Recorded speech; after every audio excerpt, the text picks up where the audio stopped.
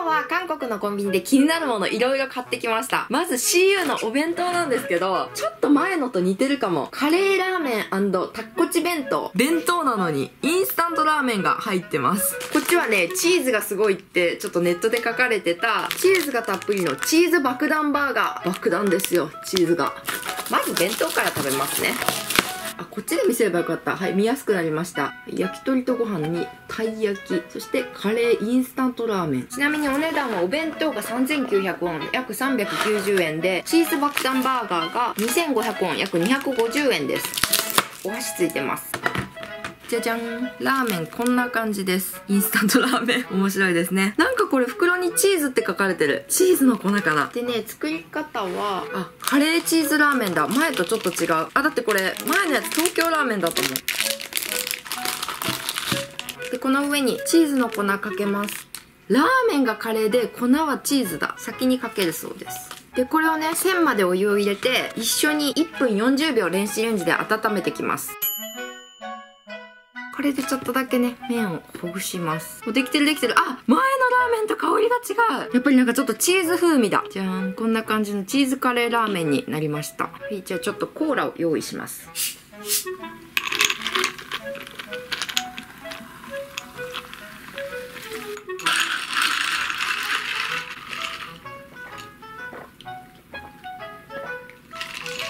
美味しい。はい、じゃあいただきます。ラーメンこんな感じです。じゃあちょっとまずラーメンから。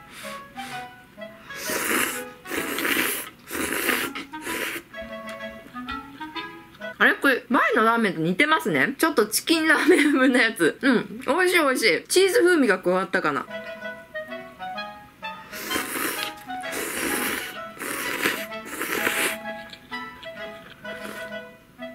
うんチーズ風味だこれおでんとなんかこういう野菜のバンチャンなん魚のすり身の練り物みたいな感じですね。うん。唐辛子入ってるからちょっとピリ辛です。でも甘みがあって美味しい。うん。パンムジもたっぷり入ってますね。あウインナーうん。ウインナー美味しい。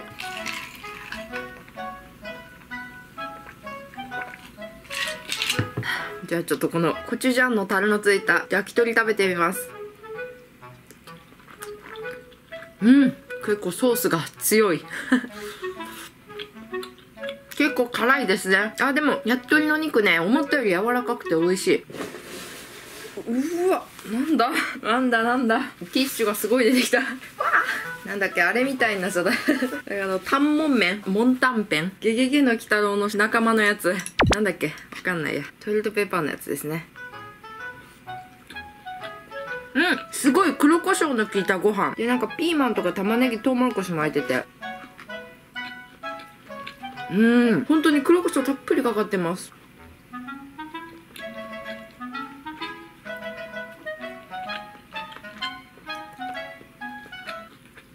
うん。パンチが効きすぎてるこれご飯。ソースも辛いし黒胡椒も辛いし。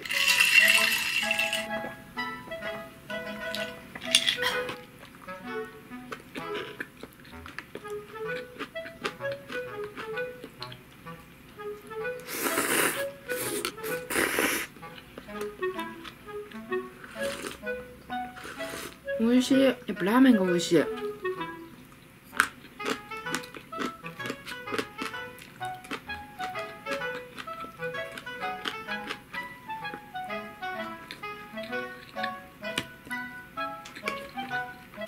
うん。これチャーハンでもないしピラフでもないしすっごい辛いご飯。CU さんご飯が辛いですよ。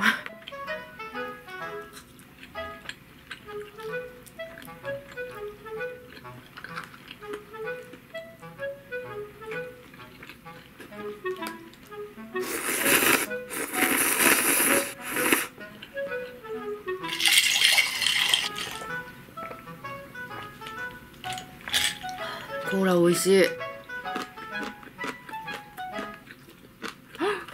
入っちゃった。どこに行った？もういいか。美味しい。カレーチーズのこのスープすごい美味しい。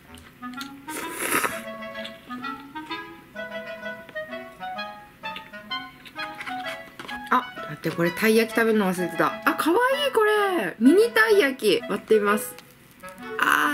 中はあんこ。うん美味しい美味しい。思ったよりもパサパサじゃない。なかなかしっとりした生地で。あんこも美味しいです。うん私こういうお弁当の中に入ってるデザート系好きなんですよ。春のお花見シーズンになるとお団子とかついてるじゃないですか。三色団子とか。あと桜餅ちっちゃいやつ。あんなのとかめっちゃテンション上がりません？あれだけで私お弁当買っちゃうもん。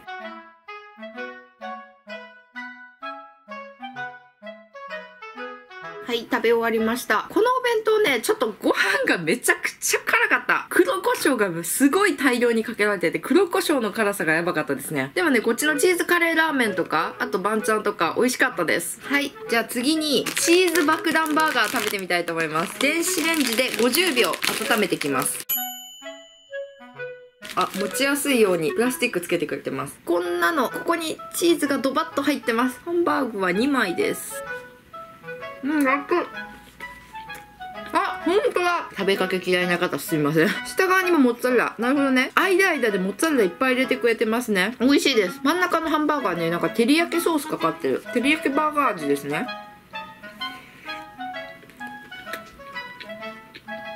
うん、中からこれ、間違えた。間違えた。これ下のチーズじゃなくてレタスだった。チーズ上だけだやっぱ。うん、やっぱりレタス。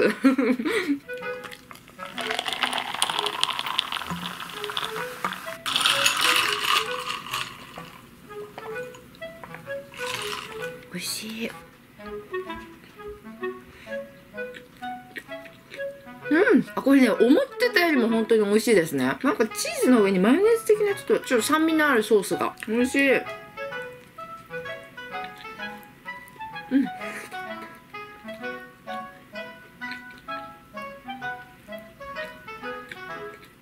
とタルタルっぽいの入ってるのかな？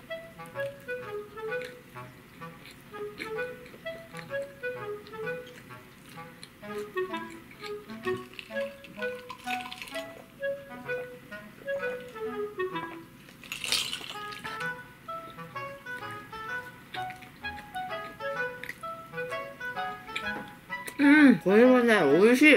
なかなかですね。なんかね、セブンイレブンのバーガー系って外れが多いんですよ。でも、ここのね、GS25 は今回ね、ハンバーガー食べてみて、なかなか美味しかったです。まあ、全部が全部かわかんないですけど、とりあえずこのチーズ爆弾バーガーは本当に美味しかった。あ、やっぱりねこれ写真にも載ってる通り、これちょっとなんかタルタルソースっぽい、このソースがね、結構美味しかったです。なんかね、最近私コンビニシリーズよくやるじゃないですか。韓国のコンビニね、面白いものって結構見つかるんですよ。他にもね、候補がいっぱいあって迷ったんですけど、この2つにしました。じゃあ今日もとっても美味しかったです。ごちそうさまでした。